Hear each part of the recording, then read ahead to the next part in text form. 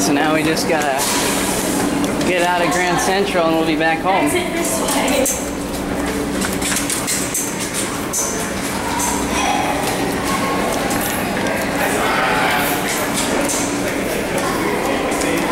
Hey Geneva, say something.